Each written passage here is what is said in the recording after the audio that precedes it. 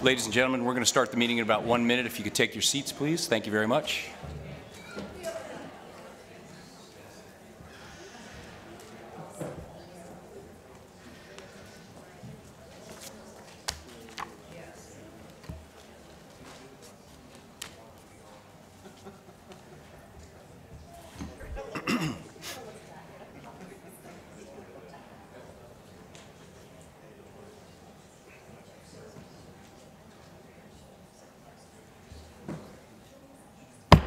All right, good morning. We're going to go ahead and call this to order. This is the Gary Sansing Public Forum.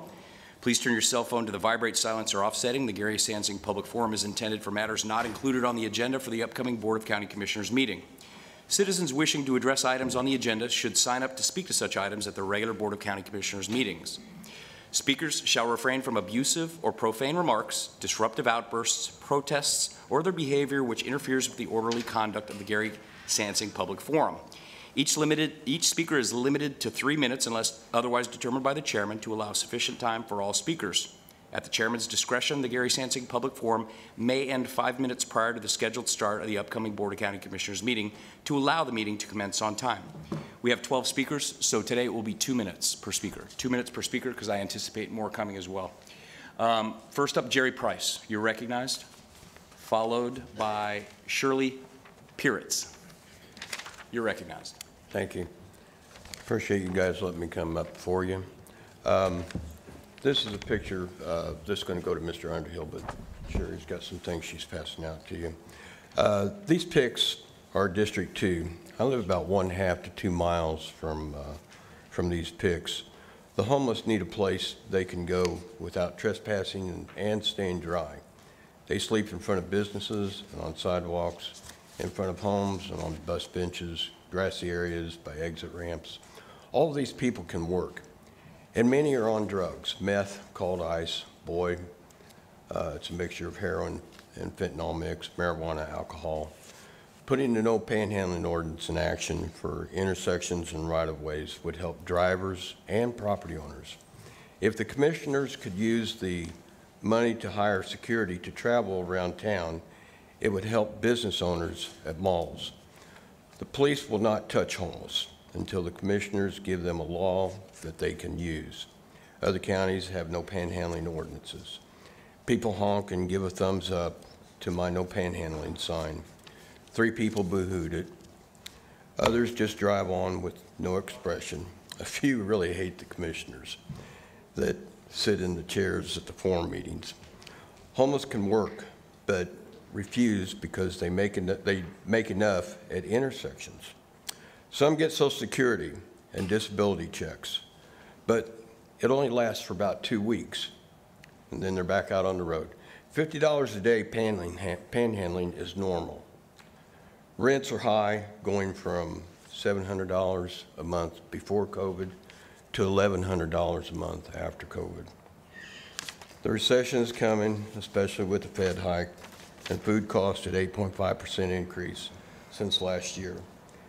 Unemployment is given, leading to more on the streets. Thank you very much, Mr. Price. That's your time. Thank you, oh. sir. Yes, sir, thank you. You're welcome. Shirley, you're recognized, followed by Darren Flanders. You're on deck. Darren Flanders. Thank you. Good morning. Hi, my name is Shirley Piritz, and I live at 1385 Finley Drive. I am here to speak in opposition to the proposed Outpost Bayou rental complex. I would like to address inadequate parking and fencing. Thanks to county staff for requesting elevation plans. As they are passing out to you, the floor plan shows several units with four bedrooms, each measuring just over nine feet. What type of tenant would want four small bedrooms? With the proximity of the proposed development to UWF, these units would be perfectly marketed to college students. Four college students sharing an apartment have at least two things in common. Their class schedules are not the same and their work schedules are not the same. That means all four students have vehicles. One can park in the garage and one in the driveway. Where are the other two vehicles for each of these units going to park? The obvious answer is in the street. Even though street parking is supposedly prohibited, how will that be enforced? We have no indication there is even going to be a leasing office on site. Who will manage the parking and the probable wild parties college students tend to hold? Yes, loud music playing at 2 a.m. next to single-family residences. I am asking you commissioners to direct staff to obtain more information from the developer regarding specifics on where these extra two vehicles per unit will park, if there will be a leasing office on site, and if not, how they intend to manage their tenants' behavior. Also, as you can see on page two, there is no fence between the amenity areas and Finley Drive. Please direct staff to require an eight-foot privacy fence on Finley Drive so that the partying students won't wander in and around our quiet neighborhood late into the night. Thank you. Thank you very much. Darren Flanders. Darren Flanders, followed by Catherine Griffin. Catherine Griffin, you're on deck. Good morning, sir. You're recognized. Good morning. I have a question. Um, Is it okay to live at the library? You mean, do you mean A that? public library on 220 at- at Spring Street. Is it okay to live at the public library? I I don't think, Mr. May, anybody? I- I don't think so, no. You can't Okay. live there, but you can go there and spend a lot of time. there. So what we have now is we have people that live at the library. They go in there, they sleep there, they eat there, they stay there all night long, and they, they leave to go get their alcohol or drugs, and they come back. This has been going on, this is the third time I've been here. Um, and the problem's not being addressed properly, in my, in my opinion. PPD is supposed to be removing them, it's not happening, but what's happening is the homeless know that they can get away with it. They go in, they're, they're there all day long, they bring food there. I'll go in there sometimes and there's apple pie that, it's not the normal people that go in there to use the library, it's the homeless that are taking advantage of the library. Uh, You can't leave stuff outside of this building. Dynamic security needs to be changed at the library. I'm pleading with you guys, at least the security guard. Uh, Personal properties left, uh, there's a guy named Nathaniel, stuff that's been there for two or three days, it's still there outside the library. That is a safety hazard. Um, People continue to take advantages, I'm pleading with you guys to do something about it because it's really your responsibility. It is county-used facility, and it's not, it's, it's not being done properly. Um, I- just don't understand how, how it continues. You know, I couldn't sleep out here and live here, come in here, and then when I leave, sleep out there. How are they allowing it at the library? The security guard here, if it's out here, they remove it. So why is it not being done at the library? I would really like some, some of these questions answered. Uh, Because the administrator's not doing his job and getting rid of this stuff over there. Thank you, Darren. Next up, Catherine Griffin, followed by, followed by Carolyn Tramble. Good morning, ma'am. You're recognized. Good morning. My name is Catherine Griffin. I live at 1210 Deuce Drive. I'm here to confront uh, um, Stephen, Ba- Barry Stephen, okay, about building a road on our, on Quintette Road. That is considered our property. And we do not want you to build that unless you put up money. Like Mr. Burt, y'all built all that sidewalk down there over the water and pay him we would like to be compensated too, because it's not gonna go on, on that road, be built, unless you compensate us from 20, Highway 29, all the way to Quintette. That was, that is property, that, that was a, I'm sorry, that was a plantation. I worked on that plantation at the age of seven years old. You said that Mr. David, that Mr. David couldn't get out his walkway, his driveway till he come through that plantation. Y'all closed that plantation, they really started building it, and that plantation was sold. Guess what? Mr. David didn't even have a way to get back home. Cause the people that got the houses built that, they closed them out of there. But you said it couldn't be done. Yes, it can be done. Unless y'all put up money for that sidewalk, it won't be built. That's, we, you, uh, we don't mind about you doing the sidewalk, but you're gonna have to pay for it, and we tired of y'all taking our property. Cause the property is considered our, it's, we, I, we scoped it out. So, unless you do it, you can't do it, you can't, you cannot build it. Thank you and have a blessed day. Thank you. Carolyn Tramble, followed by Pam Weirick.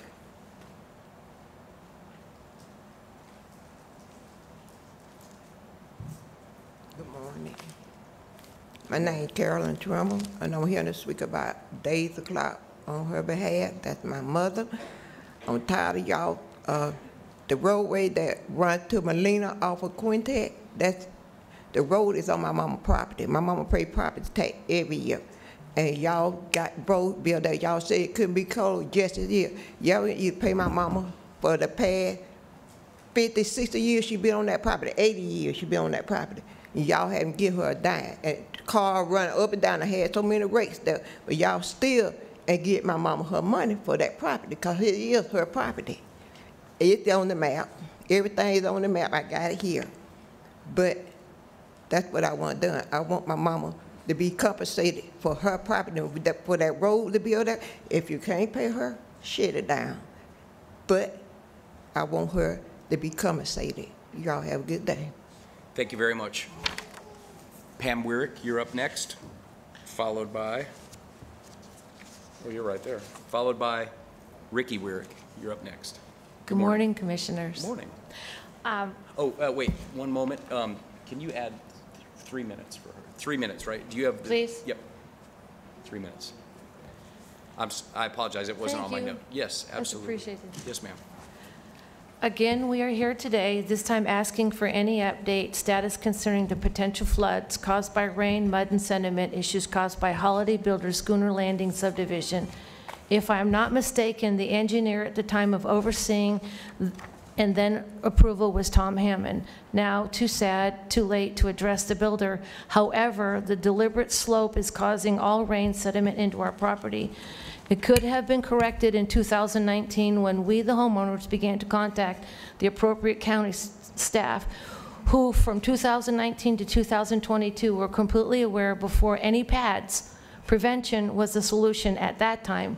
What happened to code 1101-2? We have an update, a positive note, but not a completed positive result as of today. After the last BOCC meeting, I met Mr. Jamie Higdon. We set a day, and he came to our property. We were impressed. Sounded as if a survey was going to happen to see what could be done. I also received a call from Ms. Joy Blackman that truly gave me hope things were going to go forward and issues corrected. What did happen was, Reggie did come to our property, had equipment to blow out the much-plugged drainage openings. Then a big rain came, water began to flow. Then it stopped, ditch was full again. Luckily, no more rain. Again, Matt Skipper visited, also Kevin Blanchard. Yes, we are seeing county checking out our drainage issues. We also had a county work release crew come, string trim, and then they worked diligently. However, ditch was completely full of water. All the lead- weeds that were causing the water to no longer flow. We also have a large county grass cutter that cut both sides of Welver, Weller by our home, however, did not even possibly address the ditch. Yes, we are grateful also grateful, no storms so far. A big issue seems to be that most of the crew is, is across from our street, facing us on Mars Drive alongside Weller. The culvert is overgrown, the blockage causes our drainage to back up. That was an issue, we were told, we will be back to clean the side of Mars and Weller. All this drainage is connected. I continue to pick up trash in the ditch, now dry, no rain. My husband attempted to string trim to hopefully get some of the big br- brush out. I am so grateful to Mike Kerb, Misty Redsky, along with the Flood Defender crew family, also the county crew and engineers who also has shown interest in our situation.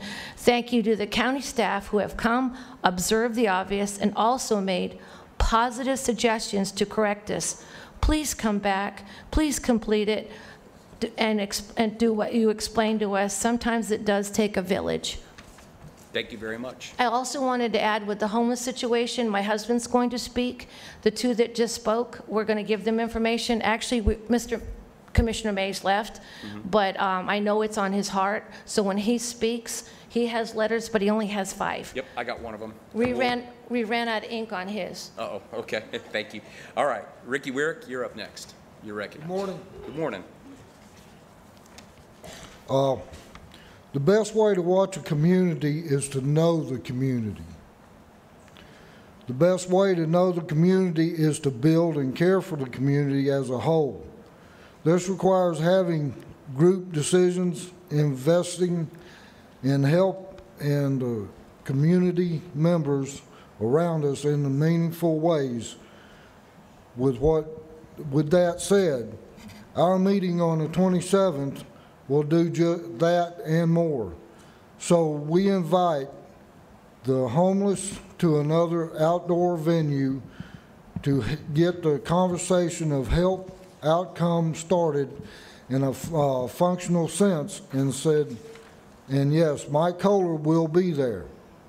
And hopefully other commissioners who care deeply for the homeless will be present. A local pastor, Ahab Clark, at Revival Center has been a guest at our neighborhood watch. He has shared his heart and his concerns for the less fortunate.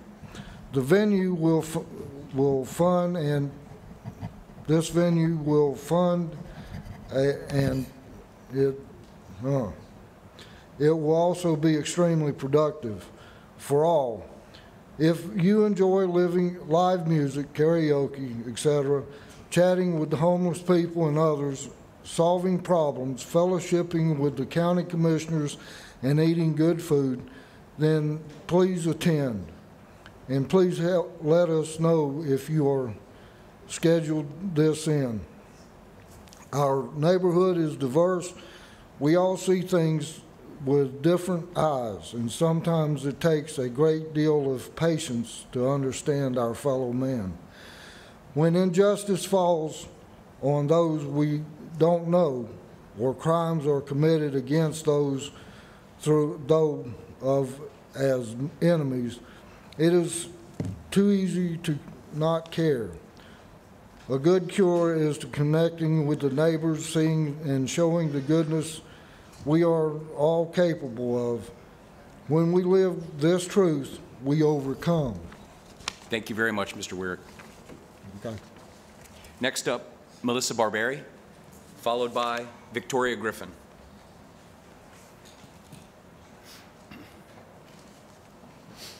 Good morning. My name is Melissa Barberi, and I'm a resident on Finley Drive with my husband and eight children, and I'm here today to oppose the Outpost Bayou Building Project.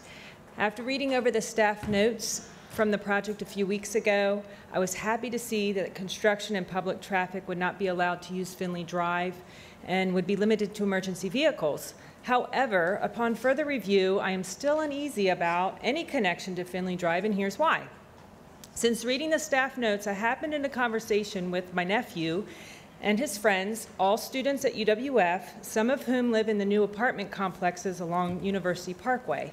According to them, the apartments were not built with enough parking to accommodate all the tenants. These students report that they end up parking as far away as Target and hitching a bus ride or walk to their apartments. I couldn't believe it. After that conversation, I happened to talk to my pastor, and he confirmed that uh, the complexes had come to the church leadership and um, asked if the church parking lot, which is relatively close to the complexes, could be used by their tenants because of parking issues at the complexes. This tells me that the county has been approving development sites with inadequate parking for vehicles. This made me come back to Outpost Bayou proposal, which no doubt will have more than one car at each residence, with one car garage and a driveway anticipated for each house, where do the extra cars park? As of right now, the development is not allowing parking on the already narrow private roads. Will some residents find it more convenient to drive to the back of Finley, park on our street, and cross over to their homes? I am concerned that traffic will end up on Finley. To stop this from happening, I would propose that the developers not have any access on Finley, maintain a 15-foot vegetation buffer and the 8-foot fence line around the whole southern border of the development. This would allow the residents on Finley Drive to maintain their current quality of life and not have the extra traffic or the eyesore of a development not in character with our neighborhood. Thank you. Thank you very much. Next up, Victoria Griffin. Good morning. Good morning. Um, Why are the engineers not required to follow up-to-date data? The engineer on this project for the Outpost Bayou townhomes is using data from 1960 for the wet holding pond, when new data is available from 2014. Why are the outpost townhomes not being required to follow coastal code at 118 to reduce exposure of people and property to natural hazards?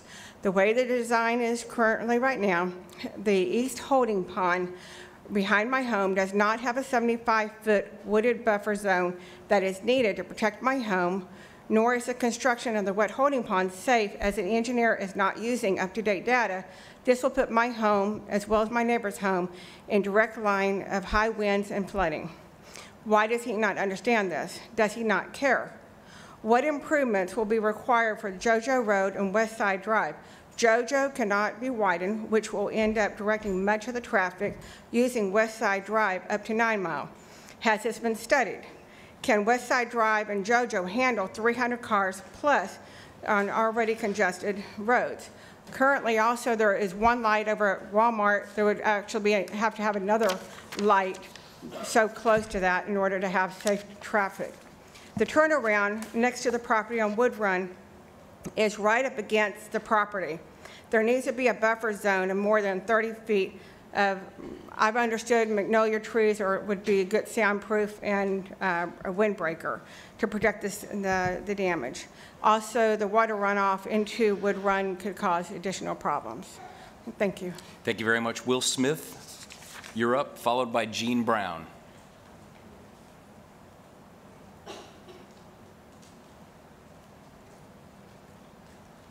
Good morning. Good morning.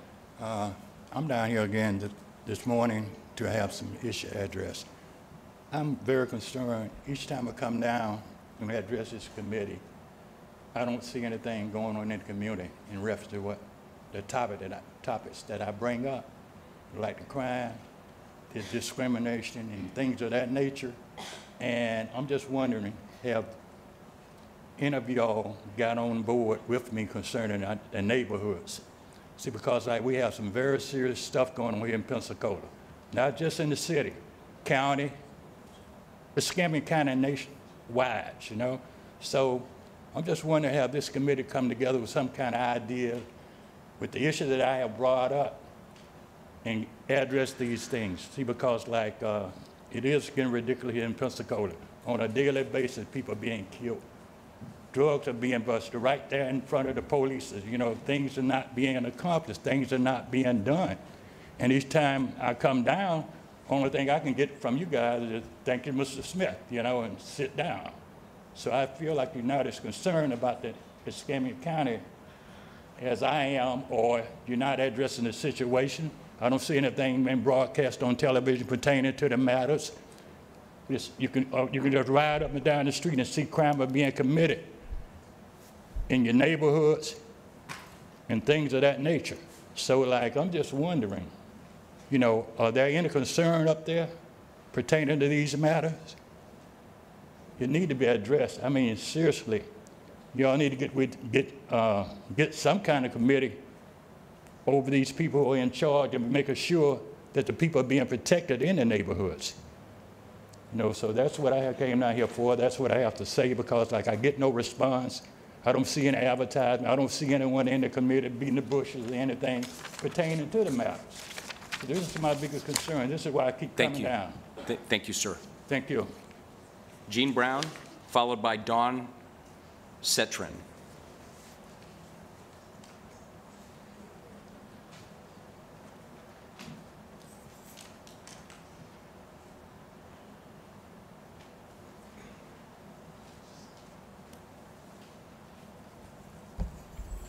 Good morning. I'm Jean Brown of 1475 Finley Drive for 54 years. I oppose the Thompson, the Outpost Bayou development. Finley Drive has a big stormwater runoff problem.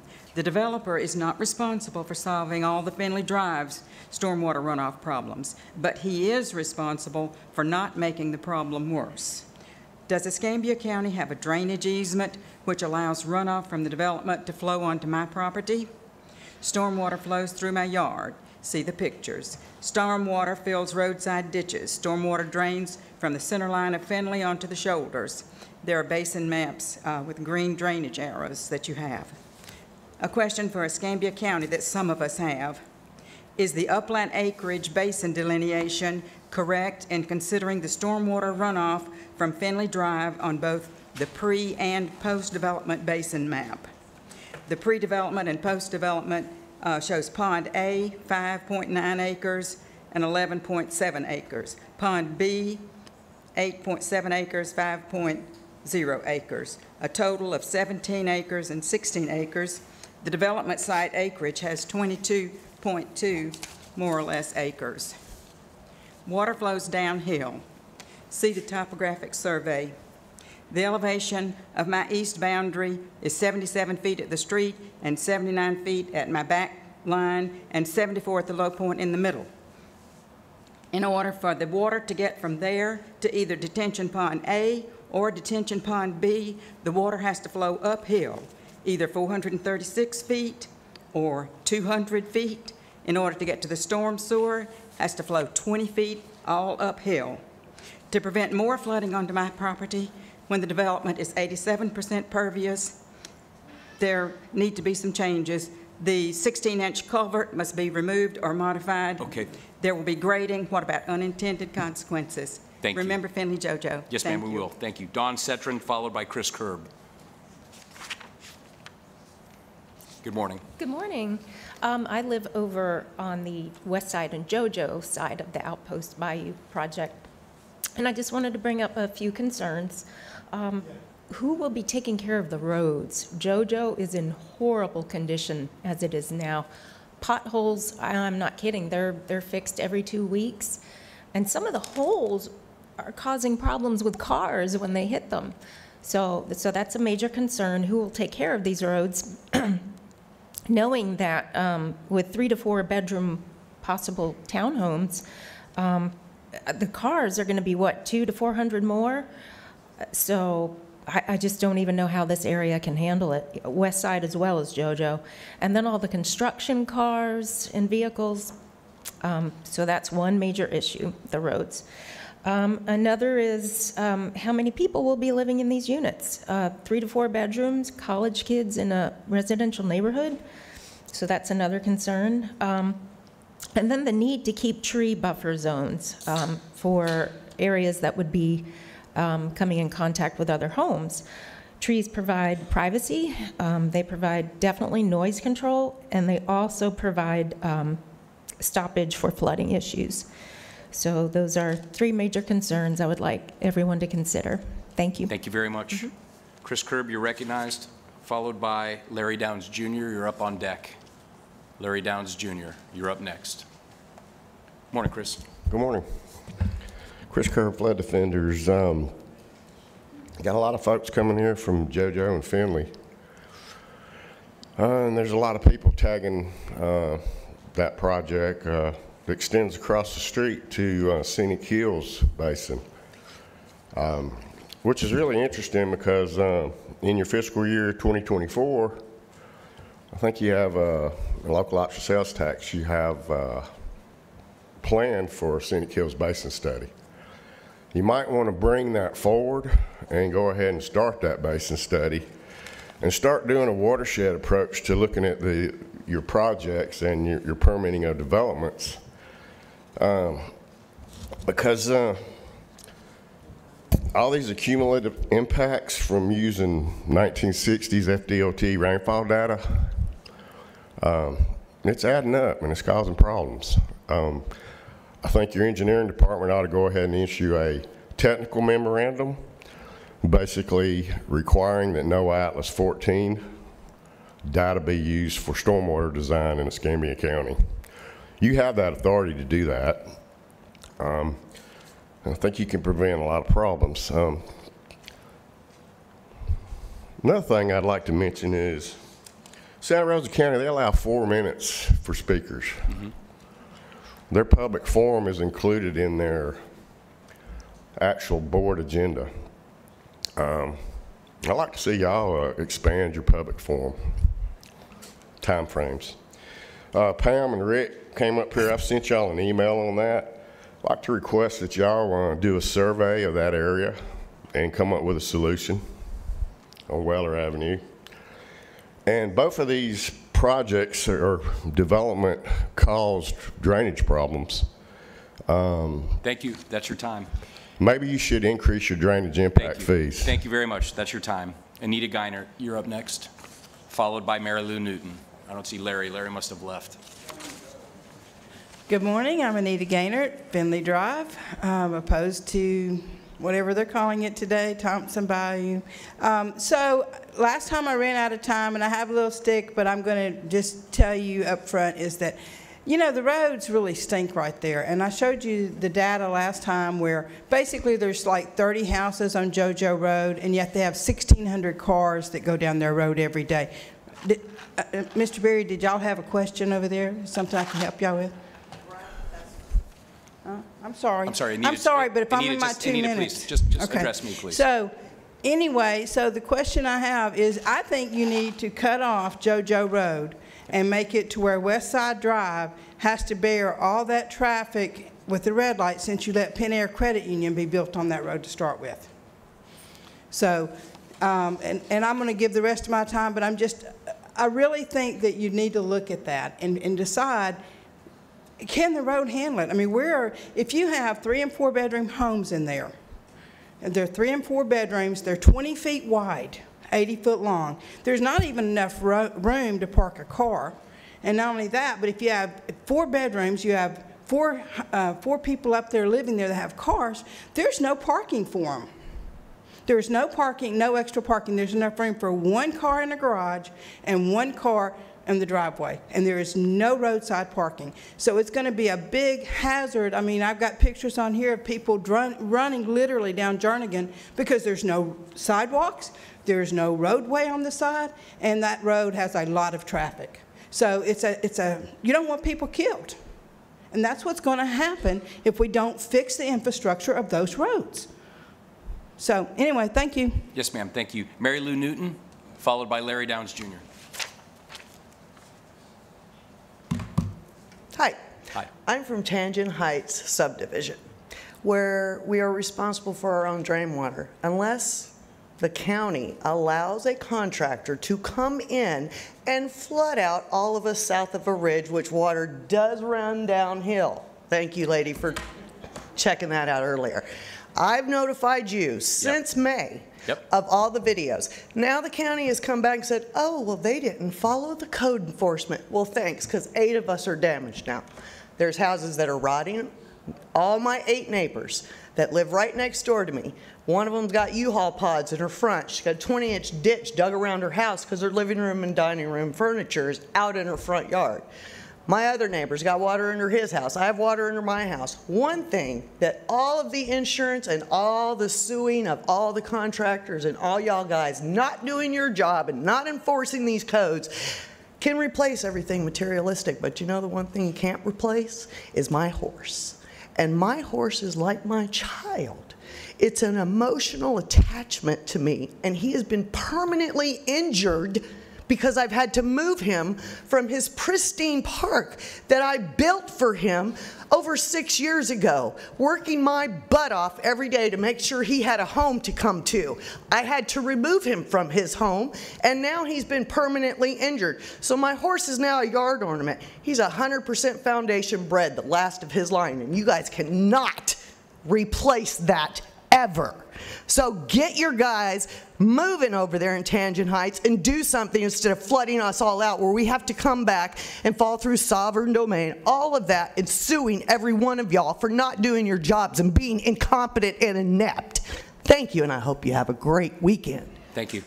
All right, excuse me, no. Larry Downs Jr., final speaker.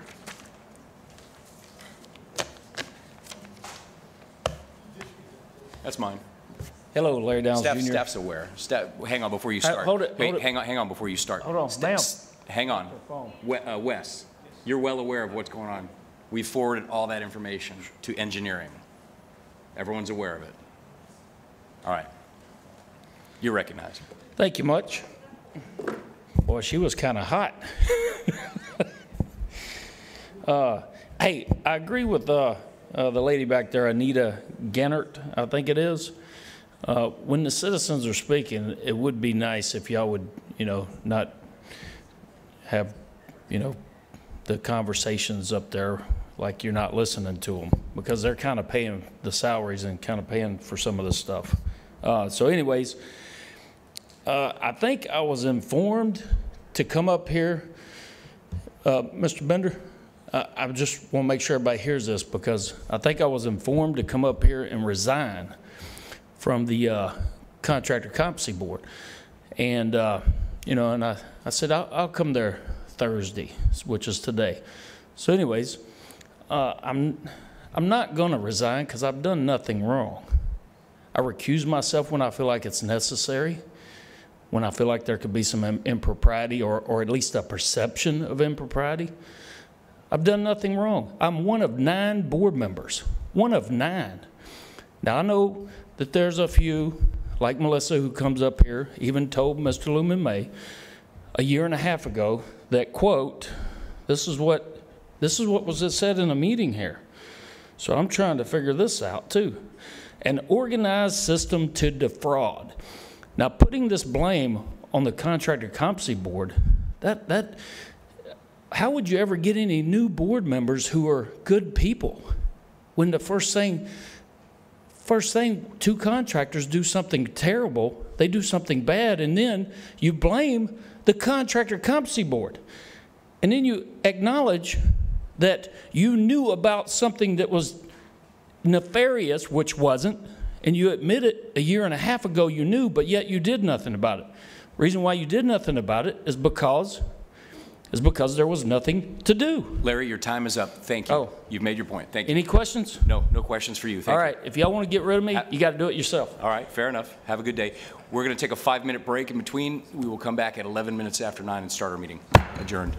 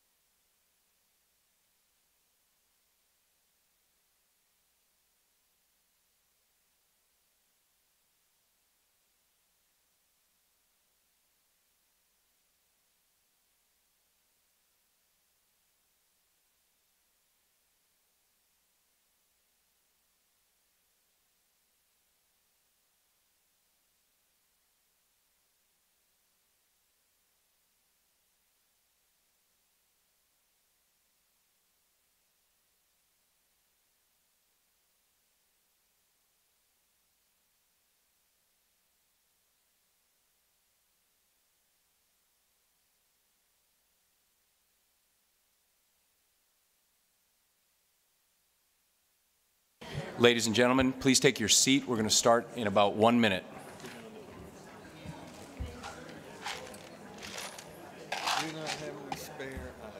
So we'll just, when it runs out, we'll just have to vote by hand. Yep. We can, we can adapt.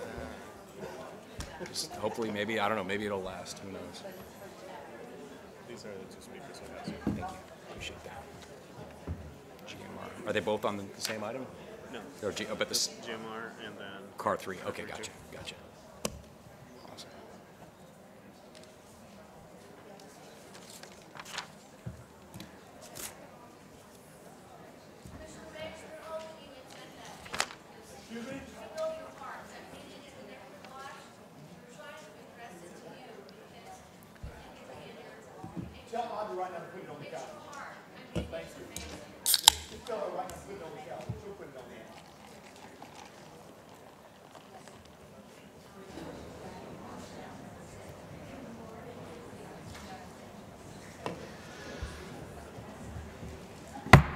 Good morning. This is the regular Board of County Commissioners meeting, September 22nd, 2022.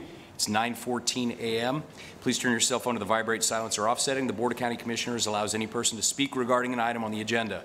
Speaker is limited to three minutes unless otherwise determined by the chairman to allow sufficient time for all speakers.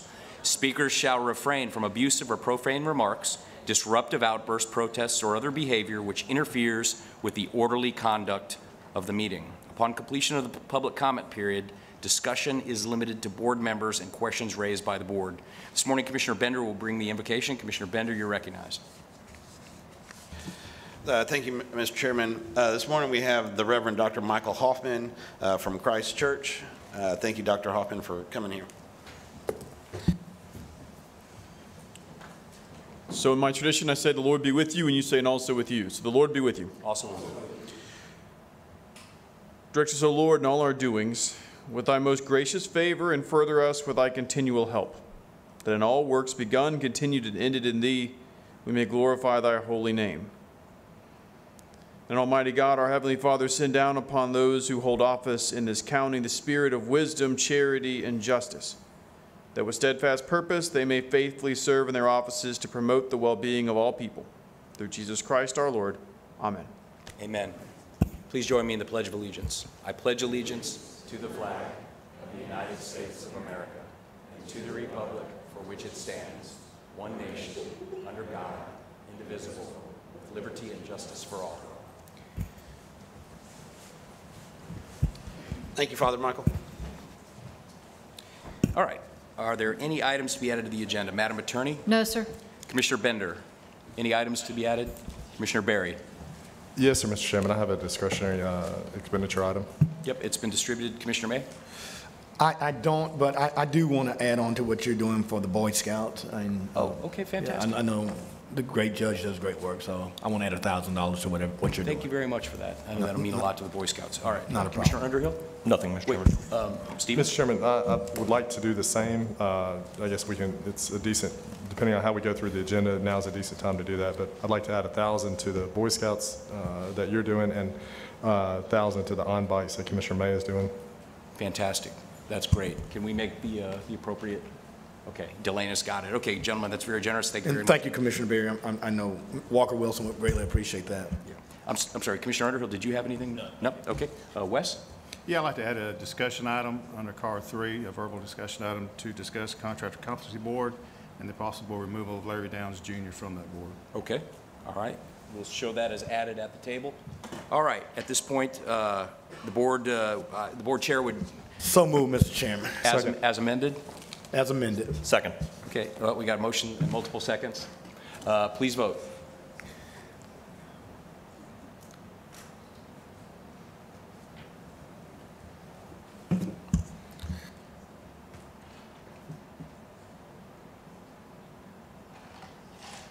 Is it not coming up?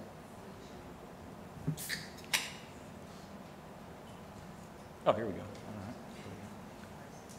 right. Was I the holdup on? I probably, I probably was the holdup. All right.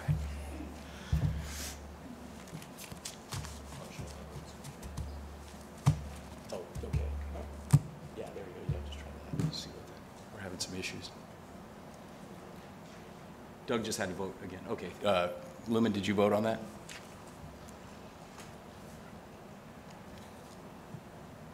All right, we're good. The agenda as amended passes 5-0 unanimously. All right, Commissioners Forum. Commissioner Bender, you're recognized.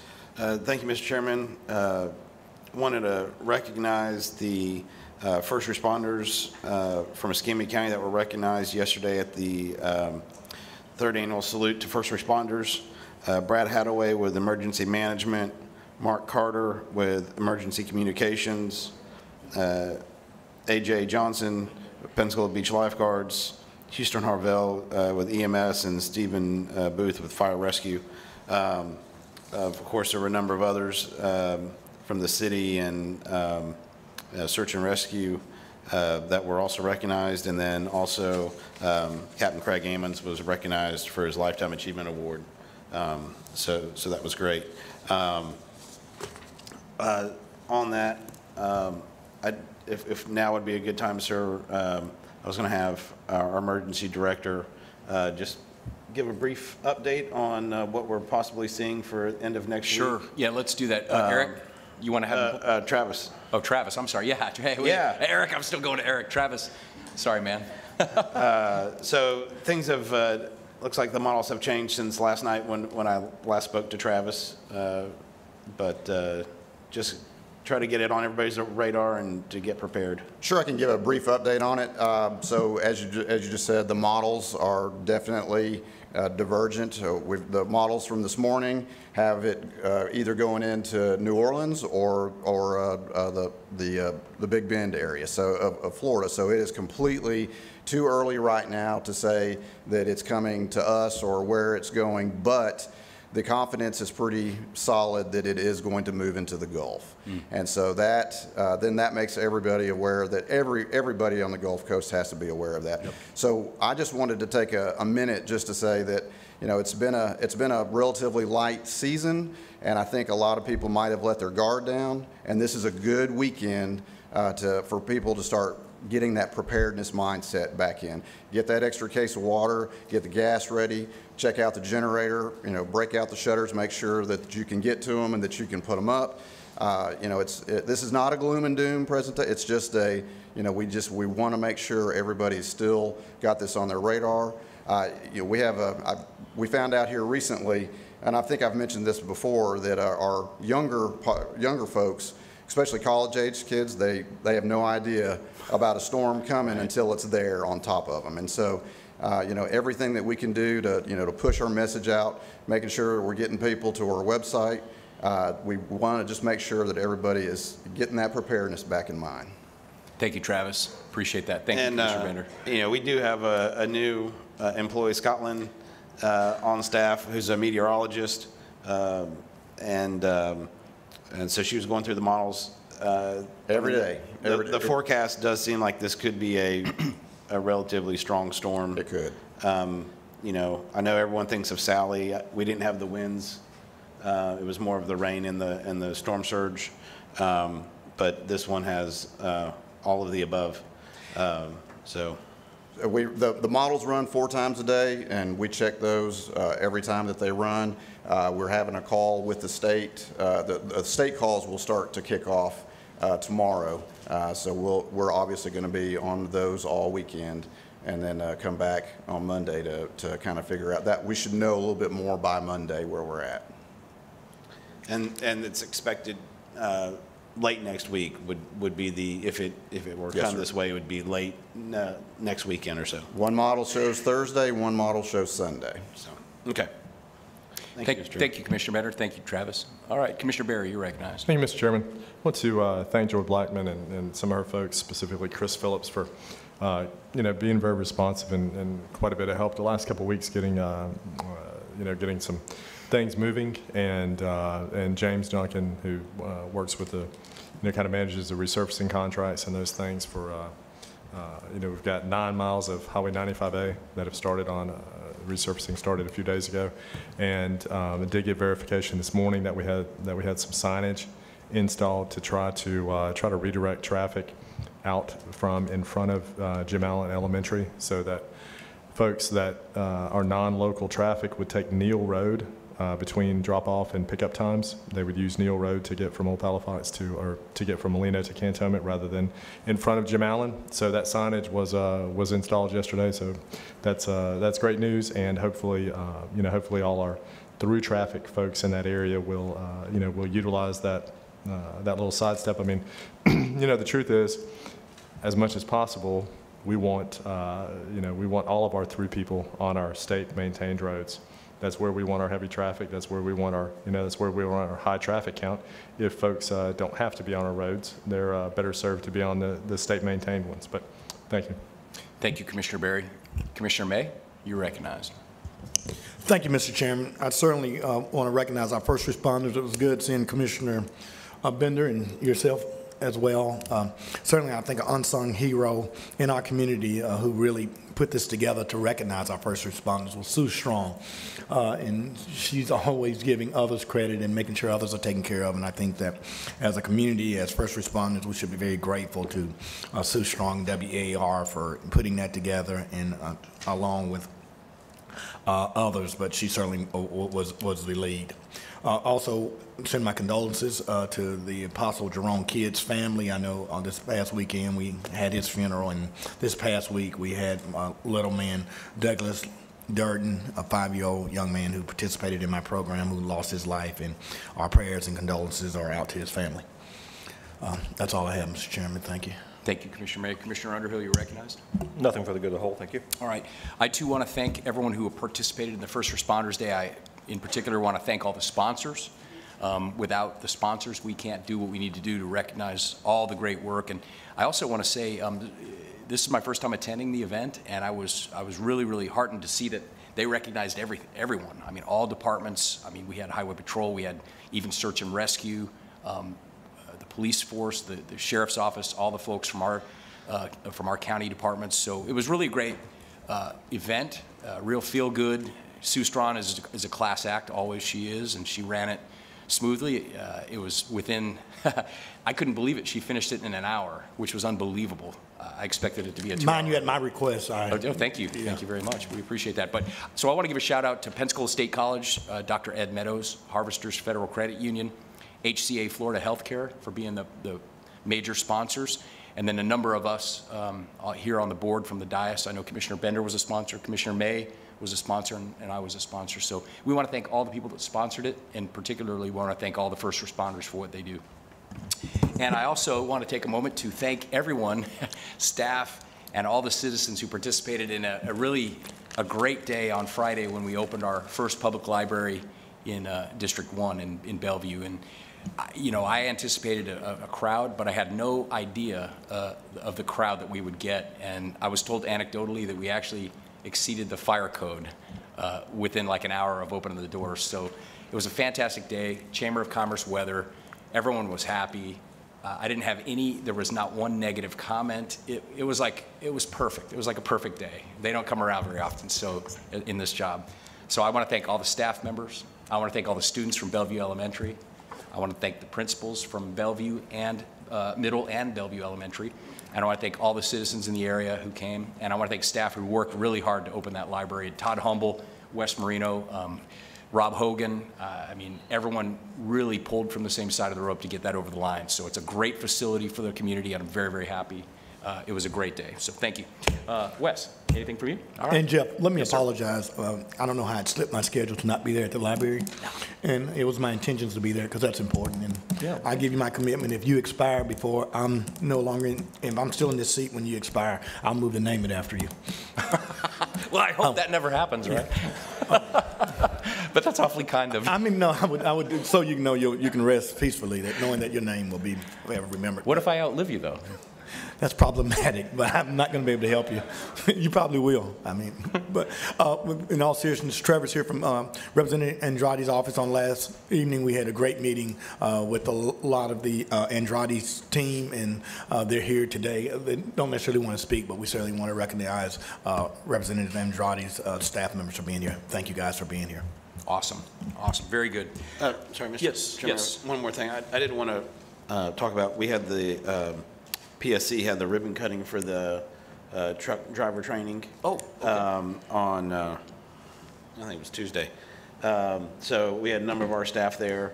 Um, Bob Bob Cole was happy to see that we could find our way across over into Milton.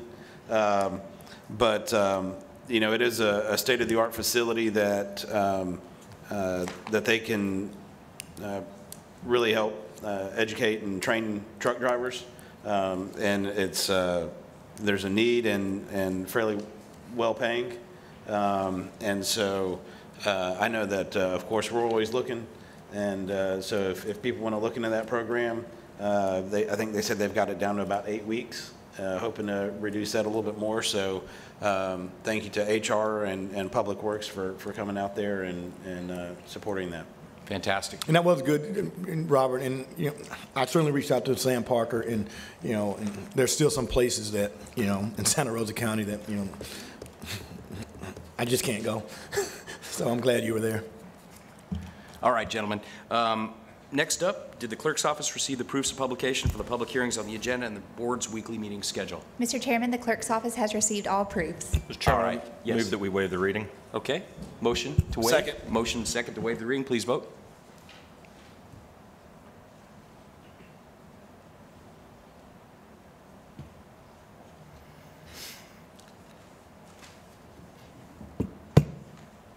Motion to waive the reading passes unanimously. And and just for the board's information, my, my iPad is not functioning properly. I'm down to 2%, so once it goes down, we're just going to have to go to old-fashioned hand votes. Uh, It's not charging, even though it says it is. It's just not holding the charge, so. So, anyway, all right, uh, here we go. Uh, Public hearings. 901, public hearing for the consideration of fiscal year 2022 proposed grant application for mass transit. Um, I don't believe we have any speakers. Rodriguez Kimbrough, do you want to come up and say anything about it?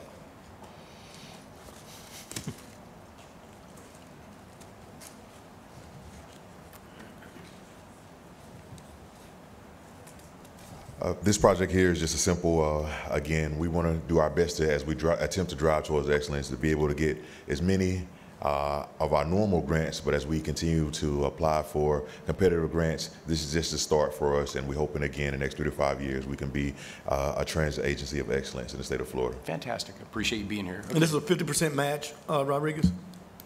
Uh, Yes, sir. Uh, Only on the, uh, the actual operational items are are 50% match. All the capital items, it says in there, those are 20% match.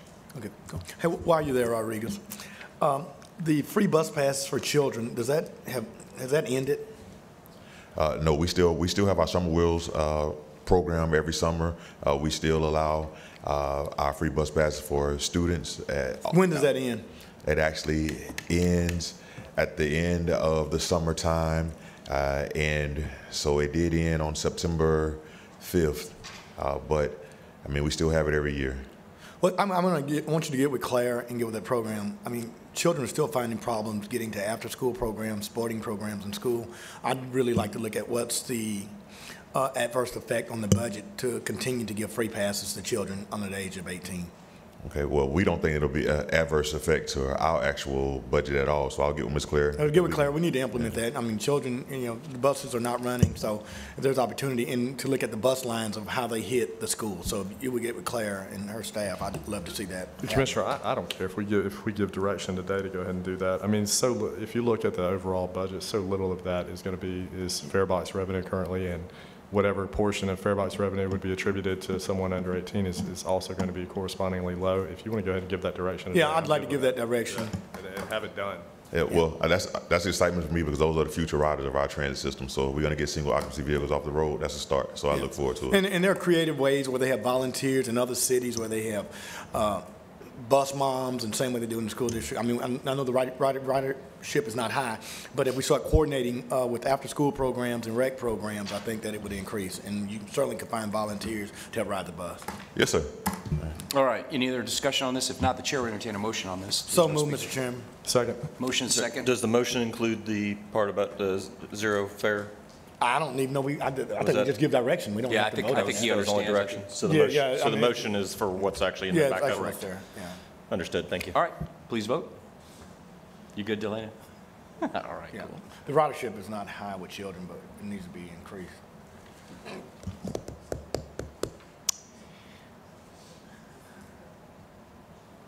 All right, the 901 passes unanimously. Clerk and Comptroller's report. Pam Childers, you're recognized. Thank you. I have three items on the agenda. The first one is the TDT collections for August of this year. Um, Note, we are still tracking 5% to 5%, and we're at 20 million so far. That is a record high. We continue to have developments with additional fines and Airbnb units. We continue to have hotel builds. We continue to see this revenue increase. We also have documents that are filed with the clerks to the board's office and minutes and repairs, reports that we prepare. Move the clerk's Thank you. report as presented. Motion and a second to move the clerk's report. I will tell you, Chairman, that I have not heard yet from the state on the TDT audit that was supposed to complete in May. We have had some conversations hoping to get something back before budget season in case there's something that either party needs to do. Yes, ma'am. But no communication. They are still continuing on their findings. Thank you. Appreciate that. Thank you. We got a motion and a second to approve the clerk's report. Please vote.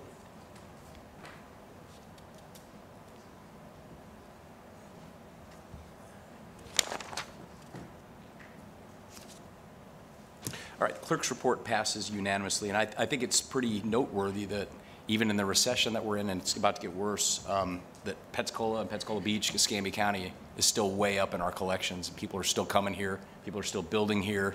So um, I just think it's worth noting that. Other parts of the country, it's a different story. Horace, you're recognized. Yes, sir. Chairman, Commissioners, good good morning. We have um, public hearing, this is the second of two public hearings concerning opt-out requests for 2022-01. This is to, to remove. Second of two public hearings. Right on. And we do have a speaker. Uh, Jacqueline uh, Amy Rogers is here.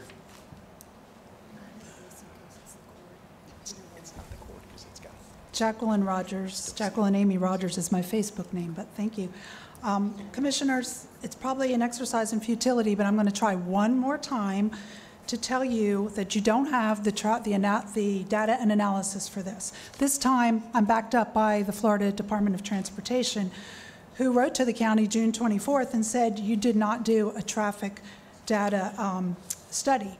And so the Development Services Department wrote back and said, well, we did a screening, and the screening said that Cedar Tree Road was a dirt road and we don't have right-of-way for it. And so we didn't, they don't have a study, and they said that the dirt road going alongside this parcel doesn't have right-of-way. And so they said, was, is that good enough? And FDOT, FDOT wrote back and said, we still don't have a study. Now, FDOT, DOT, DOT, FDOT can only comment on things that are state assets. So they could only comment on SR 95. And they said, we don't anticipate it being an issue, but that does not relieve your board or your county and your development services department from doing a traffic study, not only for SR 95, which is Highway 29, but also for either Neal Road if you're coming in off of Hillock, that's where you posted your signs, or on Cedar Tree Road. In their screening, they said there's a dirt road with no right-of-way. Also, at the planning board meeting, the board member, who is now the chairman of the Cottage Hill Waterworks, said that they do not have the capacity for this upzoning. In your data and analysis for compatibility, your staff put that the LDR zoning is compatible with the conservation neighborhood that's there now. There's no LDR zoning. This is LDMU, which is seven dwelling units per acre, and MDR, which is 10 dwelling units per acre. So your staff analysis has mistakes in it, and you can read that in your backup.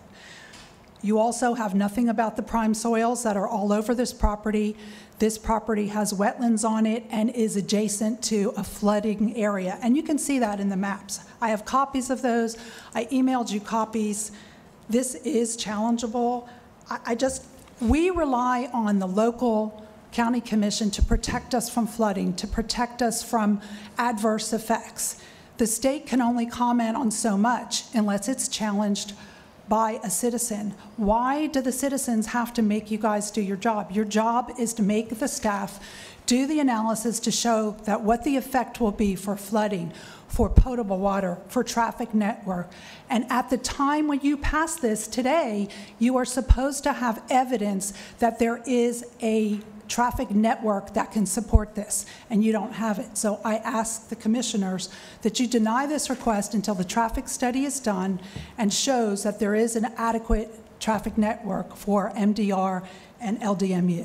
Thank you very much. Thank you. Chair would entertain a motion on this item. No further speakers.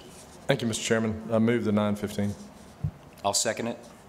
Discussion? Yep, go ahead. Um, Well, I actually agree with uh, everything that uh, the previous speaker just said, um, and those are, those elements are for, uh, it will, will lead to my no vote uh, for the upzoning. Um, What we have before us is simply the opt-out from the sector plan, Um, and in keeping with basically all of my votes on this, since we've opted out uh, a former commissioner who actually had something to do with the opt-out. Um, These are folks that did not have anything to do with the opt-in. Um, And so uh, I've uh, had to reluctantly vote uh, in favor of all of the opt-outs. I think it's bad for, um, for the development uh, and and continues to accelerate the development in North County in a way that's unsustainable. Uh, But at the same time, it's, it's- it's not appropriate to opt people into things uh, that they were essentially opted out of the discussion that created it. So for that reason, um, I'll be voting in favor of the motion as it is. Right on. Okay, no further discussion, please vote.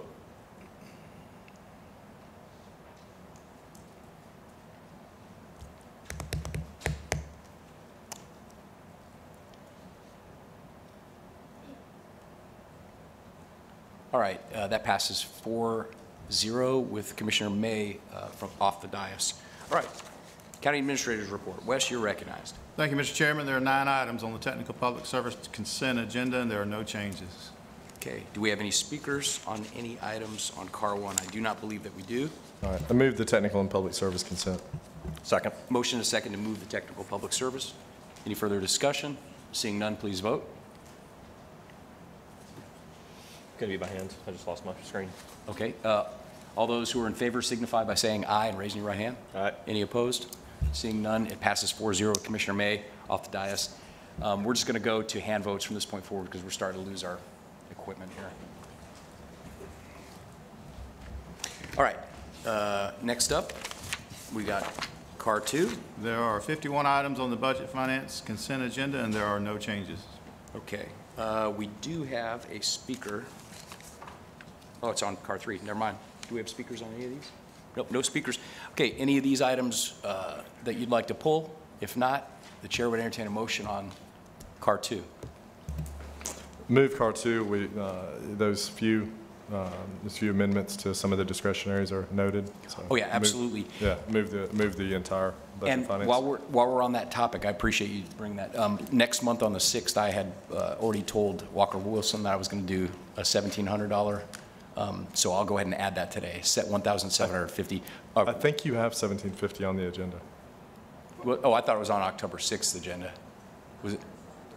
It's on this, okay, my bad, never mind. I think, I think, there's 1750, I think it was on bikes, but I'm not 100. Okay. Okay. It's on bikes. All right, it must have been added at the last minute. Okay, very good. So, all right, so we'll just, we got a motion and a second as it is with, the- with those changes from this morning. I don't have a second. Heather, are you good with that, or do we need to go through them again? Mr. Chairman, we don't have a second on that yet. Oh. Just, just. a Second. Okay, now we do. Thought we did. Now we do. All right, any other discussion, guys? Lumon? No, sir. All right. Uh, All those in favor of passing this item, please uh, say aye or raise your right hand. Aye. Any opposed? Lumon, was that a yes? All right, passes unanimously. All right, car three, we do have a speaker, uh, but. Wes, Mr. Chairman, Yes, that sir. did include my, my add-on that was distributed. Did you get that, Delana? I have it, yes. It's for 500, uh, Yeah, 500. for Molino Park PTA? Yep. Did it make it to the end of the dais, though? We definitely do have it, Commissioner Okay. Barry. Um, we have it, though, as like an a- item added to the agenda because it was already, Okay, so does it um, need to be published. voted on at the end? Yes, Yeah, sir, if that's okay. it. Thank you. Okay, so that- that didn't pass with this, but okay. All right, Wes, you got your discussion items? Thank you, Mr. Chairman. Uh, Number one is, uh, CAR 3-1 is concerning the authorization uh, for acquisition of real property on Fairfield Drive for wetland mitigation purposes. $90,900. All right, Uh, Chair would entertain a motion on that. I think it's worthwhile. So moved. Okay. Second. Motion and a second. Any further discussion on this purchase? Seeing none, all those in favor, say aye. Aye. Any opposed? Passes unanimously. Mr. Chairman, if I may? Yes, sir. So, uh, Wes, outstanding work. Um, This is a, uh, for those that are not familiar with it uh, in the audience, by purchasing this property, we've achieved two objectives. Um, It actually helps us uh, uh, with the, uh, you know, taking a property in the, uh, you know, close to the coast out of um, uh, the path of construction and preserving uh, the limited amount of environment that we have here now, uh, but also enables the county to move forward through wetlands mitigation on projects in all five districts. Um, So it's, that's excellent, excellent governance, and, uh, you know, 22 acres of anything in Escambia County for 90K is a, uh, is a heck of a price. So uh, Wes, great, great job, and to the staff that made it happen. Thank you, Commissioner. Thanks. All right, Wes, you're recognized for some more good news. Yeah, I could ask uh, Jeffrey Lovingood, and if that's your wife there, she, she can come up with you.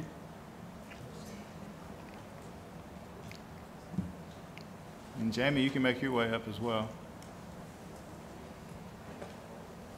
Mr. Chairman of the Board, I, I'm, I'm presenting to you uh, Jeffrey Lovingood to be the Director of our Office of Procurement. I will tell you, in the short amount of time that he's been back, it has been a world of difference. Uh, So I told somebody this morning, we've uh, went from about 80 to 80, maybe possibly 85 solicitations in a year. As of yesterday, we have uh, 142 solicitations, and that's with a lot of this year being severely down there in procurement. Uh, So it's been a huge difference. It's in a very important office, uh, department that we have, because if we're not successful there, we drive no work out. And so it's key that we drive that work out. And so uh, I present to y'all Jeffrey Lovingood. He's done a fantastic job. He's ramping up. He's building his team. He's leading his team. And uh, I appreciate him so much, and I'm happy to present him to y'all. Thank you. The chair would entertain a motion on this slate.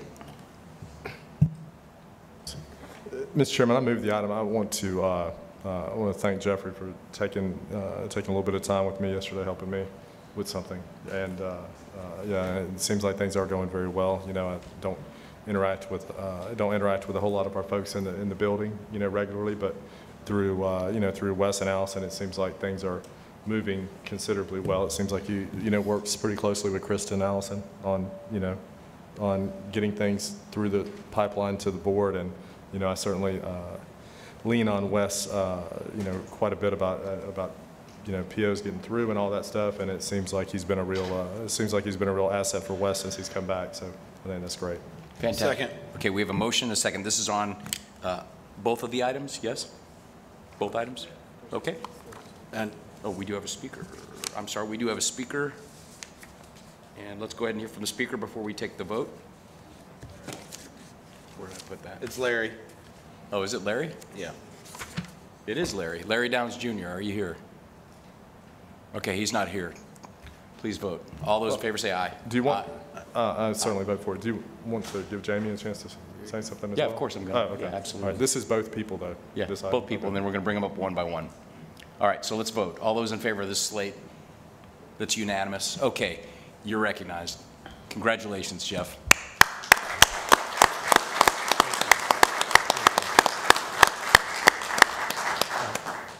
I was going to prepare a statement, but instead I just want to kind of speak from the heart for a moment. Uh, First of all, I want to say thank you to County Administrator uh, Wes Moreno for taking a chance on a guy, uh, if you will. Uh, This is uh, a unique situation that we find ourselves in, uh, or that we have found ourselves in, where staff was low, morale was low, uh, product was not getting put out uh, effectively or efficiently. And because of the team that we have, the team that we're building, uh, we have a lot of great things that have occurred already, uh, but we are just getting started.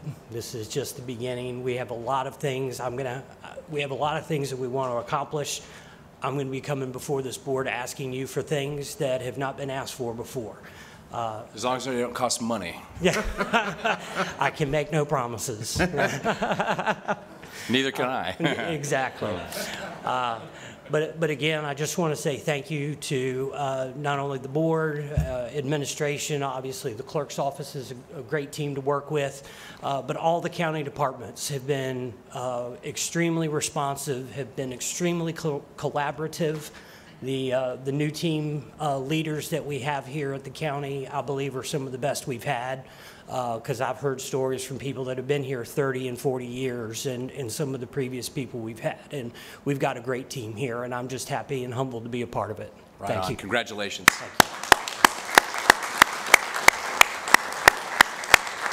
All right, Jamie Higdon. The floor is yours. Good morning. I thank y'all all for the vote of confidence, and uh, I assure you I'm going to continue to carry out the direction of this board and administration in serving the citizens of this great county.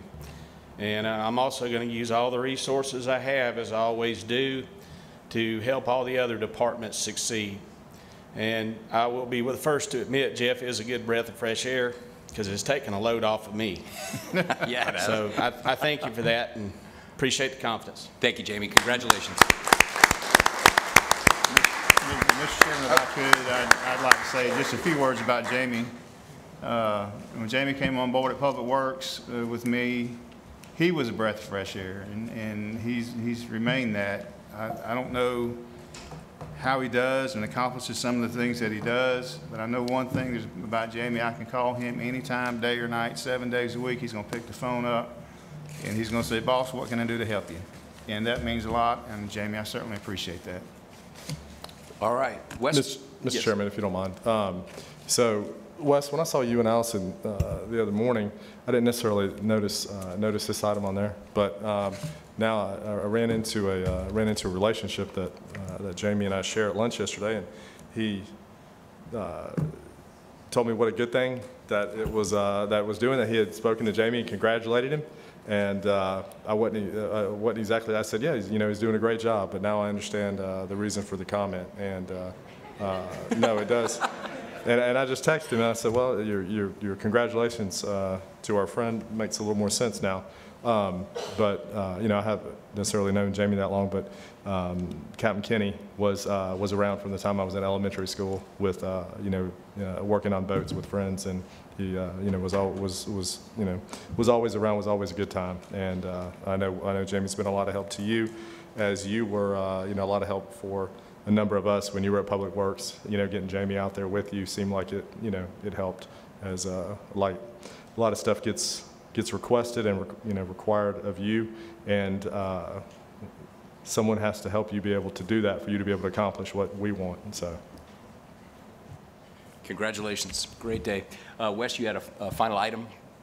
Yeah, uh, the add-on to the discussion uh, was to let the board have a discuss, have their own discussion about the contractor competency board uh, as a whole, or as the removal of Larry Downs Jr. from that board. Okay, all right. Um, Discussion on Larry Downs on the Contractor Competency Board. any speakers, Mr. Chairman? Uh, I- Larry had signed up, but I think he, le- okay, now he's leaving, he came back. Larry, do you want to speak to this item, or? Okay, all right, you'll be recognized with three minutes.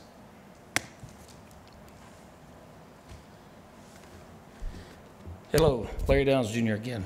Uh, I wanted to speak on, uh, on, on Jeff, uh, Jeffrey, uh, because he brought up about two, two meetings ago. He said, uh, hey, I noticed that you're not on the vendor list. He said, is, you know, on the county's vendor list. He says, is that by, uh, is that by, uh, you know, on purpose? I said, yeah, it's on purpose. Because I don't, you know, I don't, uh, I don't work for government. I work for citizens. I primarily do residential work for homeowners. I don't even do work for builders. Maybe three, maybe three. The 90, 95% of my work is directly for homeowners. So, you know, I, I don't have a conflict of interest. I don't do, uh, I don't do work for the government, so I'm not on y'all's vendor list. I don't do work for the vast, major, major, major majority of all contractors, and I don't know all contractors like, you know, like some people might, might insinuate. So, whenever I volunteered for this board, it was the same, you know, I'm the same person I was then that I am now. Y'all know me. Nothing's changed. I recuse myself whenever I feel it's appropriate, which is what I think you want a board member to do being one of nine board members, you know, that's, that's a large board. And then to have citizens come up here and say, you need to replace the whole board, replace the whole board. I mean, just imagine that. That's, and then to insinuate or to allow it to roll on like it's the board's fault. When the board is following y'all's ordinances, I mean, what more can a board do? And then Channel 3 does a disingenuous report. Y'all seen it. It's disingenuous. Uh, Melissa tells Lumon a year and a half ago that there's some kind of systemic plan to defraud. And he acknowledges that she told him that. And then he did nothing. So uh, if there was something, which there's not, there's not. Are you kidding me? You think that that Board of Citizens has anything to do with two dum-dums? Nothing. The other counties are having the same problem. They're still got cases rolling. That's two bad board members. That's like blaming the gun for the murder or blaming the vehicle for the, for the drunken driver. It's, it's, it's ridiculous. And I recused myself, which is the appropriate thing to do. So I did nothing wrong. So if y'all want to replace me because you're getting pressure from a fringe group, you know, people don't know the story. I've got the story. I'm going to let the story go. But I'm just letting y'all know I'm not going to resign. So if y'all want to replace me, that's on y'all. But I represent all the citizens whenever I'm on that board because that's the right thing to do. Thank you, Larry. All right. Discussion on this topic? Seeing no discussion. I'll just kick it off. Uh, Larry, I have nothing against you personally. Um, I, uh, I had some significant disagreements with the reasons why you recu- recused. Um, in 15 years, no, I, this isn't a discussion. I'm just going to say what I'm going to say, and I'm going to do what I'm going to do. In 15 years, okay, he didn't want to listen. He could watch the tape. In 15 years in elected office, I've recused maybe six times total. It's because there's only limited circumstances when it's appropriate to do so. Um, because you did work for someone five years ago or you know someone, you don't get away with doing that. And when you serve on a board for the county, you're subject to the same rules.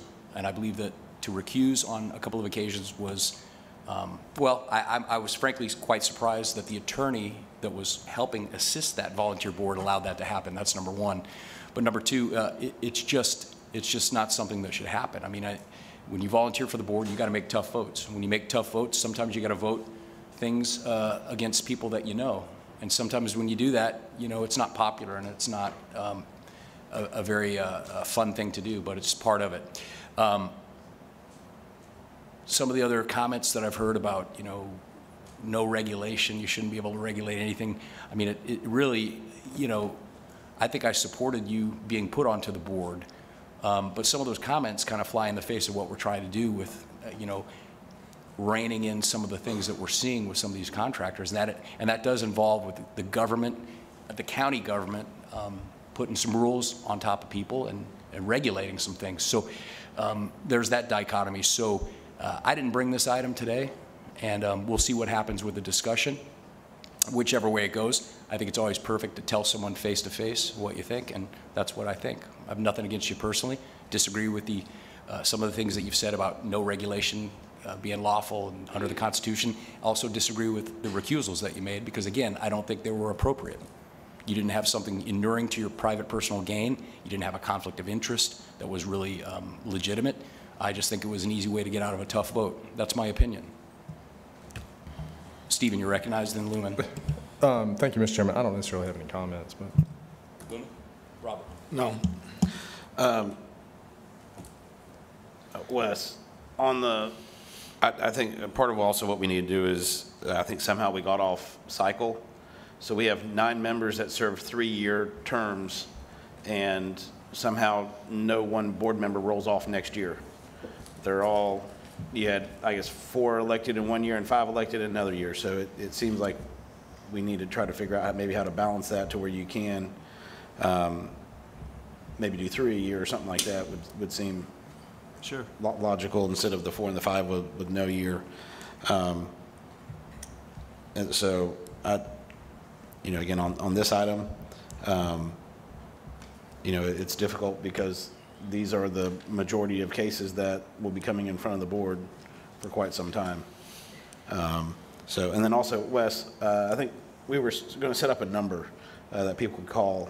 Is that, I believe it's completed, Commissioner. We just got to put the press release all on. right, so we'll do that today then? Yep. Perfect, thank you. Commissioner as I'm nearing the end of my uh, eight years here, it's noteworthy to me that all, almost every single one of my appointees that sits on boards, um, like planning and um, SRIA, are the exact people that were put there at the very beginning.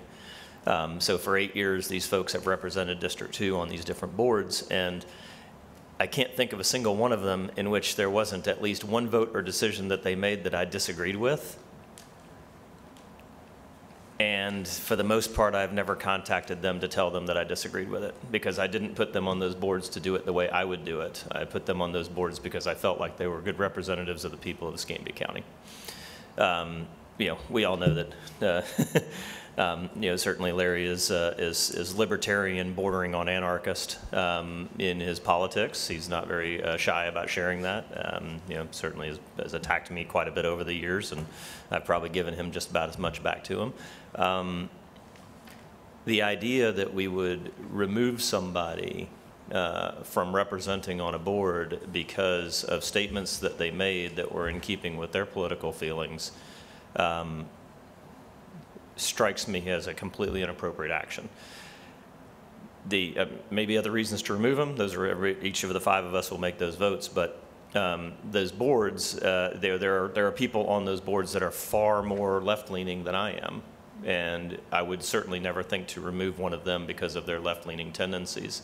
Um, so where you fall on the spectrum from, you know, from, from communist to libertarian, um, you are a, if you are a Escambia County citizen uh, capable of following the law and the rules and the purpose of those boards, then, then you should be, you know, considered for service on those. So um, uh, my vote certainly wouldn't have anything to do with Larry's uh, uh, political posturing and, or even his activities here in front of this board. Those are constitutionally protected rights. Um, I have seen Larry recuse himself from things based on the uh, appearance of impropriety, and that is always an excu- a, a excuse. It's always a, a reason. It's always a valid purpose for the recusal process, um, because the appearance of impropriety erodes the foundations of trust that make our government work. Um, so as I look at each of those recusals, I see no reason that any of those, while I might not have recused myself in the same way, um, if Larry perceived those to be a perception of impropriety, um, then his recusal actually protected our government institutions from, uh, from accusation or, or the appearance of impropriety. So that strikes me as being appropriate. Um, you know, certainly don't agree with them. Certainly don't agree. I mean, Tim Pyle is, is a little too heavy, uh, uh, you know, fond of the developers and developer interests for my tastes. Um, but I would never question Tim Pyle's uh, uh, uh suitability to serve on the planning board, and I hope Tim doesn't get offended that I used him as an example. Um, but uh, uh, for that reason, I just don't, it, we've got a problem um, with how we've done that board. I disagree with what Larry said publicly, that we didn't need to change anything. We need to change something, but what we need to change is the direction from this board for what right looks like in Escambia County. We need a much more aggressive attitude toward uh, uh, nefarious behavior, um, and we need to be you know, we could actually follow Santa Rosa's model, which is uh, which works a little bit better in my opinion, um, and and move toward resolution. Gentlemen, we do this with regard to um, uh, planning. And, I'm sorry, with regard to code enforcement. We've got so many code enforcement, uh, uh, uh you know, frequent flyers out there that we just don't push aggressively from this board by pushing our staff to go ahead and get it in front of the magistrate, get it settled, and get that property brought into, either brought into um, compliance or, um, you know, get that property, sell it, and pay off the fees. That's on us to drive the staff's direction. It is not on the volunteers, the same similar situation to this. It's not on the volunteers who sit on that board nearly to the extent that it is on us to make sure that we are giving good command guidance, that this is what the board expects um, that if you're a bad actor developer in, uh, in Escambia County, Florida, we will find a way to quickly show you the door. If we could give that guidance from this board, then the board that Larry sits on would be uh, uh, empowered to be able to prevent things like what we're seeing now. So with that, I will also say this, Larry, since we're talking about you, we you have the normal rule of how many minutes are given. Um, it is not lost on me that uh, the, one of the things that has changed me uh, by sitting on this board was the evi- issue that we had with Eager Beaver. When I, as the chairman, did not allow Eager Beaver, uh, it was the applicant, to speak any more than I did anybody else. And in doing so, I violated their rights. This isn't quite the same, but that affected me and who I am. So Larry, if you have anything else that you want to say specifically to me before I cast this vote, I need to hear what you, what your thoughts are, if I may, Mr. Chairman. yeah, please. Yeah, I've, s- I've stated a lot of things in, uh, you know, in public. That's my public opinion. I have made motions to revoke, permanently revoke, uh, permitting privileges from state contractors in our county. I even had to argue with the other board members as to why. And he did an elderly couple wrong. He showed up once, and then he didn't show up at the other two hearings. And they said, permanently? I said, yeah, permanently. And I did get a second on it, so it went to discussion, and that, and I said, and they said, that's a little bit harsh, you know, permanently, first time. I said, well, the way I see it is, he's not here. He's not here. He done these, he done these, uh, you know, th- these homeowners wrong, and he's not here to defend himself. So one of two reasons, he don't care, or he's dead. Either way, problem solved. Because that carried on for about three, four months. Certified letters, all that type of stuff. So whenever I do, you know, I'm not completely uh, un- unregulated. I just think that the government goes too far. And if you don't have somebody on these boards to just at least get a thought process going as, as to, well, you know, because what, what can happen is y'all can put a whole bunch of board members on there who follow y'all's ideology or, or what you want to get reelected instead of the citizens actually representing the citizens. Every, every one of those board members have a different perspective. That's a good thing. You don't want everyone hammering. You think you think you have we have problems with uh, with not enough contractors? We don't. And you think we won't have more problems in the future if if you put every board member up there that hammers right off the rip? Don't even you know just hang them first. Ask questions later. Customers, homeowners, business owners. This will create more problems if you don't at least have one person out of a nine-member board just to bring up the obvious. Because, you know, homeowners know that if they make, if they, eh, eh, hey, I don't want to pay the rest of this. I don't, you know, we're, I'm going to pay you this and that's it. Or I'm going to file a complaint on you. Then the next thing you know, the county commissioner is going to put you on a, on a list of complaints. So, uh, you know, th- that's, that can create more problems. Less contractors. I know a lot of them my age trying to get out of it from the LTMs, which is the low testosterone males who can't perform, causing problems, you know, not showing up for work, tummy hurts, all that stuff.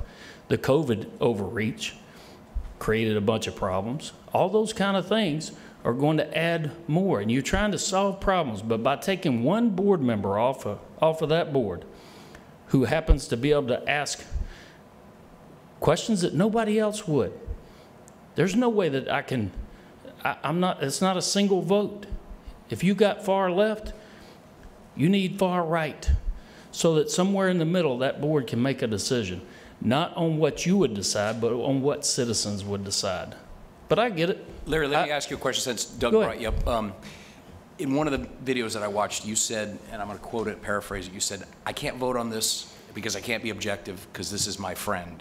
Those were your words, and that was on a very important case. I believe it was Matt Banks. Yes. So I- I just want to make sure, you've got to make those votes. Unless you have some financial interest, I mean, I I don't understand, to this day, I'll never understand why you, why you, why you didn't make that vote. But I don't think, I don't, I mean, I I hear what Doug says, I disagree. Um, You know, because that, that's too broad and that's too easy. We deal with issues 100 every week, and there are a lot of people I know that I make these votes on. When we, when we denied his legal bill, that was a lawyer that I play tennis with every week. I mean, you got to make tough votes up here, and you got to make tough votes on these boards. So let me ask you this: If Banks comes before you again, are you going to recuse? Are you going to recuse, or are you going to make a vote? I have no choice but to recuse. I, I cannot change direction once, I'm, I'm a referee also. When you do this, fight's over. It's You, you can't, you can't be switching, and I'm not gonna switch because you're telling me to. That's No, what I'm well- saying. I have to vote on what I believe. Right. And I believe that him doing cabinet work for me, doing sheetrock for, work for me, me doing plumbing work for him back in 2015 and 16 and 17, Mm-hmm.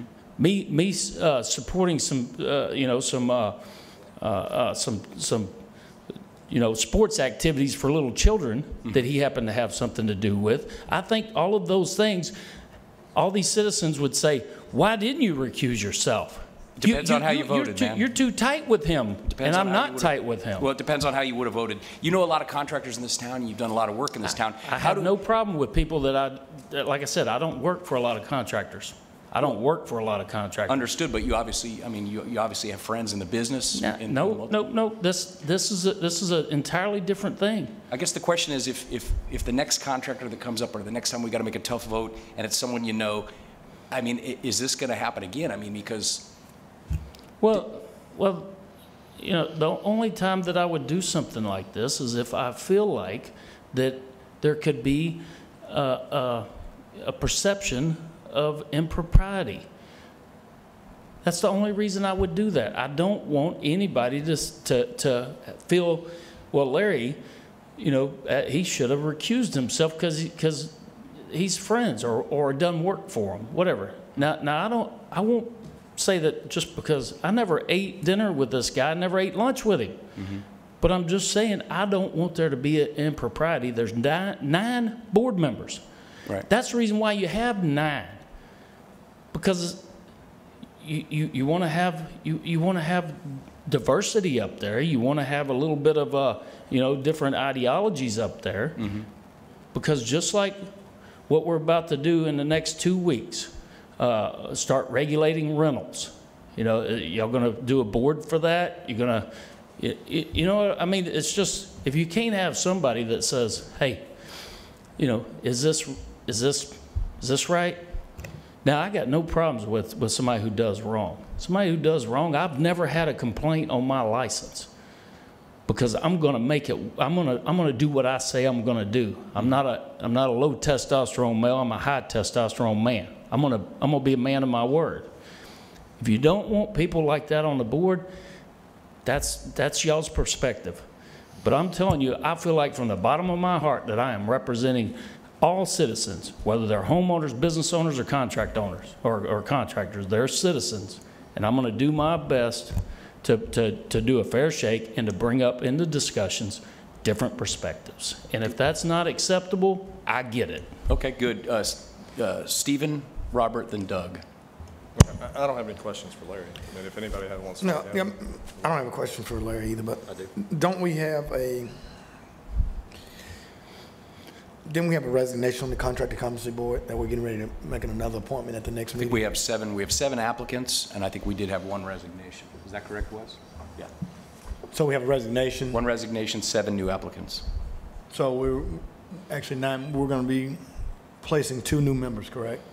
I- Shortly? I don't know, well, I, I don't know who, you know, we'll see what comes to us to, for our vote. It'll be our vote. That's the other thing too. Doug, Doug had mentioned that, you know, um, the way he treats his, his appointees. Obviously, you're an appointee of the entire board. I don't Mhm. believe you're an appointee of any one of us. And of course, I, I would venture to guess that most, of- most of us operate that same way. We each have our individual selectee that sits on the island authority and the planning board. And, and of course, just as Doug mentioned, uh, I, I'm very hands-off with those guys to let them do their thing. But, but when you, you represent the entire board up here. So I, I might agree. I don't, I represent the citizens, Well, I I'm sorry. understand, I understand, but you're an appointee of this board. That's true, but I, So- but I don't go up there to You could- represent y'all. You can parse words if you want, but that's the way it is. I mean, you're, you're an appointee of this board, so you Yes. represent the citizens, but you're an appointee of the board. So um, there's a little nua- nuanced distinction to what you were saying, Doug, but because it's the five of us that are represented by what you do, I mean, I think it's, it's fair for us to have this conversation. Doug, Yeah, well. I mean, the truth is, Jeff, I mean, if you can't vote, you're ineffective as a board member. I mean, the point of being on the board is to be able to vote and make a decision. But uh, you know, nevertheless, um, Didn't y'all we not have a, excuse, I'm not, we are going to, as of now, there's one vacancy on the competency board For a layperson, yes. for a layperson, correct? For a layperson. All right, that's the point of clarification I wanted. So we do have one position. That's good for me. Doug, you recognize? So listening to the body of, um, of interactions over an extended period of time, uh, both professional and private, that you had with banks, the only choice that would have made sense is to recuse yourself. Um, Had you not recused yourself, I would think you would be, I would be having a really significant problem with- with you voting, given the fact that you had interacted not only professionally, but also, if I'm not mistaken, it was, there was actually an exchange of money in support of a child, of the thing that he was doing. All of that, I mean, that's a clear-cut example of when you should recuse yourself. Um, It is interesting to me that we are focused on the one guy who recused himself from the vote and not on the eight votes that were, that, that did not hold banks accountable um, to, you know, at the time that they had the opportunity to. And I want to make it very clear that when we recuse ourselves, it actually does not matter at all. It couldn't matter less which way you would have voted or which way you did vote if you chose not to recuse yourself. That's actually completely the opposite of why we recuse ourselves. Um, So for you to say, I could not uh, be objective, that's why the recusal process exists, and that is why we have boards that have multiple people on them. Um, It only takes a majority of that board to be able to take action the majority of the board chose to take a different action, which I think we all now, uh, which I think everybody would like to have a mulligan on it, right? Um, But again, we as a Board of County Commissioners and as a legal department and as a staff are not driving a system of expectations and a system of consequences for bad actions that enable boards like the one on which you sit to truly protect the citizens. We should be looking a lot closer inside to ourselves instead of, you know, it, it's always easy to, uh, you know, to, to make a couple of changes, you know, shuffle the org chart and that kind of thing. This is a cultural issue. It's a failure of this board, this legal department, this staff to properly drive what is an acceptable standard in Escambia County and apply that standard equally to everybody in every situ- situation. So um, I, I, I believe the information that you gave me from the podium here has been, is, is very important to me. Um, and I believe that we've given you the opportunity to, to uh, uh, tell your story, uh, your side of it, which I think was critical to this, uh, this procedure. So thank you for your time. Thank you. All right. Mr. Chairman, for a point of clarification, it's not a failure of a board. The board can only act on things that they are aware of. So quite frankly, it was not a failure of this board because they, they were not aware. And when the situation was brought uh, to my attention personally, we got very aggressive uh, in trying to bring resolution. And it is, you're right, it is a failure of a system uh, when people who put their life savings to get hoodwinked and taken advantage of. And it's quite frankly sickening to me. Yep, absolutely. It is, it is sickening, no doubt, All right, but the Larry- ordinance. Larry, I think, unless, Doug, Okay. do you want him up there? I- I've got a, I got a quick question. Oh, question. you got- okay, Yeah. go, go. All right, Larry, you're recusing yourself on the Jesse Lacoste? I did. I found out that they were in business together and they were brother-in-laws. I did not know that. And I just felt like, actually, the uh, county attorney, uh, or the attorney for that particular board at that meeting, uh, he said, uh, Mr. Downs is recusing himself from Matt Banks and Jesse Lacoste. And it just struck something on, you know, I just found out uh, maybe a, three or four weeks before that, that they were related, brother-in-laws, and in business before. I just felt like it was appropriate. Uh, I don't think it would have changed the outcome one bit, but whether or not it did, uh, you know, personally, anybody who's come before that board that did anything like this, which uh, as far as I can remember, there was one, I took harsher actions than the board members you have now. So that's, that's just an excuse. And the ordinances, the ordinances are there, the, the, the, the protocol, the due process is, has been implemented by y'all. The board has to follow it. Even the county attorney or the, the attorney that's assigned to that board now just said at the last meeting and the meeting before, there's nothing more y'all can do. And whenever I said that to Channel 3, nothing needs to be changed with the board. The board doesn't, the CCB board does not change ordinances. It doesn't do anything. Whatever, I mean, it doesn't do anything as far as the due process goes. That's y'all. That's y'all. That's the state. So the process that was followed which I recused myself of on that one, that, on, on on those two, it had to be followed. She said it. So I mean, just I think don't this know is, if- a- If them being brothers-in-law, I mean, I know for us, if, if that would be one, but, you know, I- Larry, I'd say for me, though, to, I mean, to to say that you can't be objective, um, uh, it sounds like you're trying to get out of jury duty. Um, I've never tried to get out of jury I duty. I haven't either. Um, I try to get on And, it. and that's the thing, is that, is that, but we need somebody who can be objective. And, and, uh, I mean, everything else that's been said, I mean, I- it's, it's not, it's nothing to do with anything else. Is that we need someone who's I'm not- objective, who can hear these cases. I'm not taking this personal. I, I mean, I'm not. I'm just, I'm just telling y'all, y'all are, y'all gonna take a, from pressure from a, a fringe minority, a very small minority, because y'all know I could get thousands of signatures real quick.